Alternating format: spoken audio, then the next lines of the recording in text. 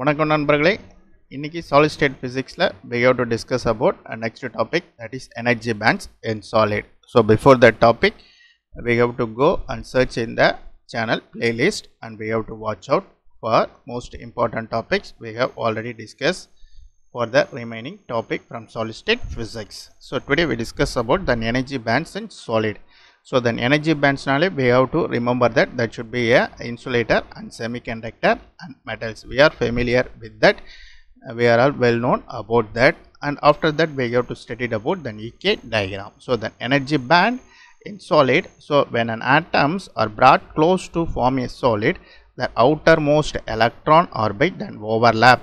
And that is the most important that is discrete energy level form energy band due to quantum mechanical interaction. So there should be detailed explanation will be given in the 12th standard book itself.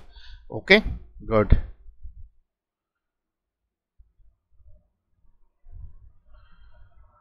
So we are all familiar with that word then valence band and conduction band then band gap. So what is the band gap is most important uh, things we have to remember that the band gap in between valence band and conduction band that is called then band gap band gap will be varied for different materials for example silicon germanium then different material have different band gap energies so other பொறுத்து தான் research are going nowadays. Nowadays So, valence band is the highest energy band filled with electrons at 0 Kelvin. If the temperature is increases, we know that uh, some of the electron will go from ground state to the excited state and conduction band. Then higher energy band where electron can move freely. So then band gap the energy difference between conduction and valence band. These are all the most important uh, we remember that okay? So then some of the classification based on energy band. So then property then metal then semiconductor then insulator for valency band oda uh, metal property it should be a partially filled. In semiconductor la the valency band should be filled. In insulator la there should be a filled. There should be one of the diagram we are all familiar with that. So in between uh, conduction band and valency band we have to overlap. Then uh, there should be a small energy gap and more energy gap in insulator. So the conduction band in metal there should be a overlap with valency then semiconductor empty at 0 kelvin in insulator conduction band is empty. So that is the most important for band gap in metals. There should be a zero or, or overlapping. In semiconductor the band gap is very small is approximately 1 electron volt. In insulator the band gap is large is greater than 3 electron volt. For example it like uh, some of their books they give greater than 10 electron volt okay?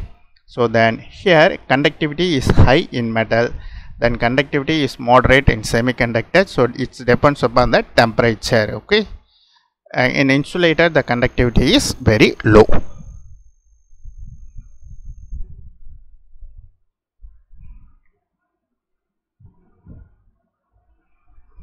So then energy band diagram if you take the metal uh, metal uh, in that valency and conduction band it's overlap even at 0 kelvin then free electron is exist in metal. Then hence it should be excellent conductors okay? Then in insulator the energy gap is very large. That should be greater than 3 electron volt. So the electron cannot jump from valency band to conduction band at room temperature okay? So hence there is no conduction in insulator so then semiconductor the energy gap is 0.7 electron volt for germanium and 1.1 electron volt for silicon. So that is the most important 99 percentage the question may be asked in the part okay? If you take then previous year question paper the 99 percentage of question will come in these cases only for semiconductors okay? So then few electrons are thermally excited to conduction band so conductivity increases with temperatures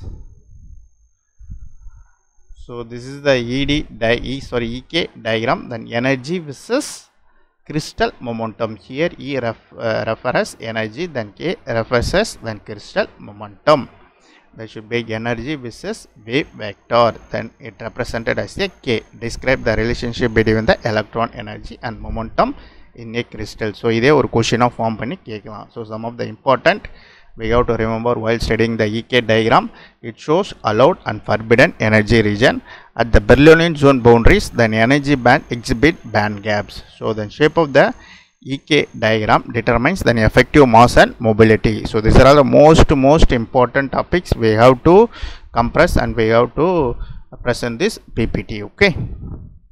So i hope this video is useful for those who are preparing the examination okay so already i have to one of the video we have to post before that how to get the study material then what are the procedure we make the payment okay? If you have any doubt uh, the link will be given in the description. You have to join in the whatsapp and we have to ask your queries or you have to uh, ask your question in the comment section okay? We have to meet in the next class okay? Thank you